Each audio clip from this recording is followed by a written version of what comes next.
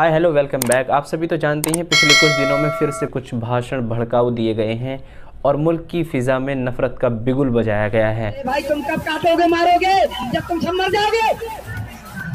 कब मारोगे? अरे ईसाई मुसलमानों को कब मारोगे? लेकिन ये अभी का इंसिडेंट है पिछले कुछ सालों में ये एक जनरल ट्रेंड बन चुका है। धर्म के नाम पर लोगों के बीच में तनाव बढ़ता जा रहा है।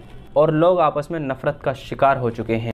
Growing calls in India for measures to curb hate speech on TV news channels. लेकिन क्या आपको पता है minister of state for home affairs ने ये डेटा बताया है कि 2014 से लेकर 2022 के दरमियान में कम्युनल राइट्स बहुत ज़्यादा तेज़ी से बढ़े हैं। अगर मैं आपको उन केसेस की संख्या बताऊँ तो 5,415 कम्युनल केसेस दर्ज किए गए हैं।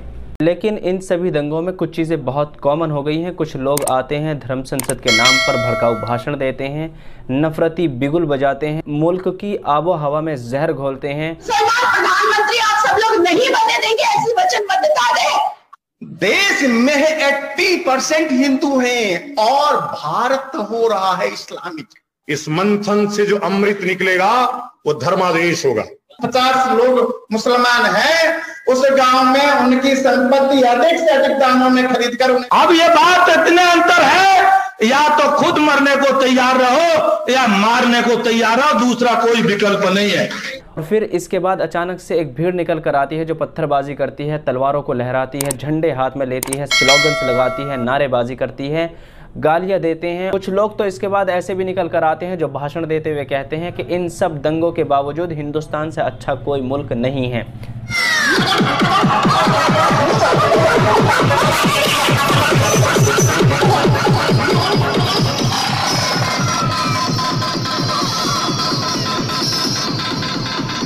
सवाल यह होता है, दोस्तों, कि ऐसा क्यों हो रहा है? कौन इसके पीछे जिम्मेदार है? इसके लिए कौन रिस्पॉन्सिबल है? इसके रीजंस क्या हैं? और फिर इन सभी का सॉल्यूशंस क्या है? तो दोस्तों, इन सभी सवालों के जवाब हम जानेंगे कीर्ति मैगजीन में छपे भगत सिंह के आर्टिकल के ज़रिए, जिस आर्टिकल का नाम है communal riots and their solutions article को शुरू करते हुए भगत सिंह ने कहा कि देश की हालत बद से बदतर होती जा रही है। लोगों ने अपने पड़ोसियों को सिर्फ़ धर्म देखकर दुश्मन बना लिया है। दोस्तों, मैगजीन में छपे इस आर्टिकल में भगत सिंह ने चार पॉइंट पर बात की है, जिसमें पहले नंबर पर आता है कम्युनल माइंडसेट इस पर शहीद भगत सिंह ने लाहौर में हुए दंगे का उदाहरण देते हुए कहा कि हर धर्म के दंगा करने वालों ने हर धर्म के मासूम और बेगुनाह लोगों को मारा था। मरने वाले हर धर्म से थे, लेकिन मासूम थे। और जो दंगा करने वाले थे, वो भी हर धर्म से थे। आगे लिखते हुए बताते हैं कि जो लोग दंगों में मरते हैं, वो कोई क्रिमिनल नहीं होते।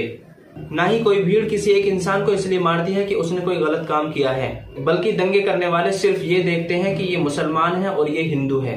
भगत सिंह आगे ये भी कहते हैं कि इन कम्युनल राइट्स ने पूरे देश की इमेज दुनिया भर में खराब कर दी है और देश बर्बादी की कगार पर खड़ा है। दूसरे नंबर पर आता है हर्ड मेंटेलिटी जब कोई हिंदू, मुस्लिम, सिख, ईसाई अपने ही धर्म के किसी आदमी को हथियार उठाते हुए देखता है तो वो खुद पर काबू नहीं कर पाता और बहाव में बह चलता है।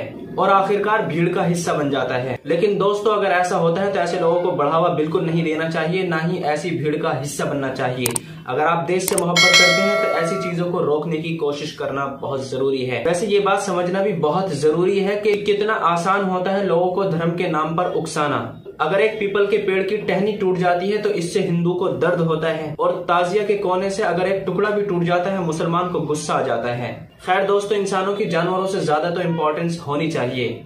लेकिन हमारे देश में लोग इंसानों का सर भी काटने को तैयार हो जाते हैं सिर्फ़ सेक्रेट एनिमल्स के नाम पर। यही सब कुछ हमारे देश की तरक्की में रुकावट है। ये मेरा कहना नहीं है, बल्कि भगत सिंह ने अपने आर्टिकल में कहा है। खैर दोस्तों, अगला कारण जो भगत सिंह बताते हैं, वो है कम्युनल पॉलिटिशियंस भगत सिंह कहते हैं कि आजकल हालत ये हो गई है कि कुछ लीडर्स ओपनली कम्युनल बन चुके हैं। ऐसे ऐसे एक तरफा भड़काऊ भाषण देते हैं, जिससे सीधे तौर पर दंगे होते हैं। दोस्तों, समझने की बात यह है कि भगत सिंह ने ये सारी बातें ब्रिटिश गवर्नमेंट के अगेंस्ट की थी। ब्रिटिश गवर्नमेंट की हकीकत को बयान करते हुए कहा था। इन सभी बातों से देश की वर्तमान सिचुएशन को भी बहुत अच्छे से समझा जा सकता है। नंबर चार पर आता है रोल ऑफ़ मीडिया कहते हैं कि जर्नलिज्म एक टाइम पर रिस्पेक्टेबल होता था, लेकिन आज ये कीचड़ समान हो गया है। ये लोग धर्म के नाम पर इस तरह से प्रोपेगेट करते हैं कि सीधा जहर बन जाता है। आज की डेट में जर्नलिज्म का मतलब नफरत पैदा करना, सच को छिपाना, झूठ को फैलाना हो गया है। लेकिन आगे भगत सिंह अपने आर्टिकल में लिखते हैं कि जर्नलिज्म और अखबारों की असल ड्यूटी क्या है? लोगों को एजुकेट करना लोगों के अंदर की नफरत को खत्म करना और धर्म के नाम पर लोगों के बीच भाईचारे को बढ़ाना, झूठ को एक्सपोज करना और हकीकत को सामने लाना। लेकिन दोस्तों, ये चार रीजन वो है जिससे सीधा दंगा भड़कता है। भगत सिंह ने अपने आर्टिकल में सबसे ज़्यादा इंपॉर्टेंट पॉइंट को बताते हुए कहा कि सबसे बुनियादी कारण जो कम्युनल राइट्स का है वो है economic factors economic factors Karl Marx ने बताया कि देश की इकोनॉमी सभी दंगों के पीछे होती है। सभी दंगों के पीछे देश की भुखमरी होती है अनएम्प्लॉयमेंट होता है। यानी जब लोग अनएम्प्लॉयड होते हैं, बेरोजगार होते हैं, तभी पब्लिक और जनता इस तरह की अंधभक्ति का शिकार हो जाते हैं। लेकिन दोस्तों, मेरा एक और सवाल यह है कि इससे सबसे ज़्यादा फ़ायदा किसको होता है? मेरा मानना यह है, इससे सबसे ज़्यादा फ़ायदा सरकारों को होता है। ताकि कोई करप्शन पर सवाल न कर सके, ताकि कोई डेवलपमेंट का सवाल न कर सके इकोनॉमी पर सवाल न उठा सके। इसलिए गवर्नमेंट लोगों को इस तरह के एजेंडे और इश्यूज़ से जोड़ देती है।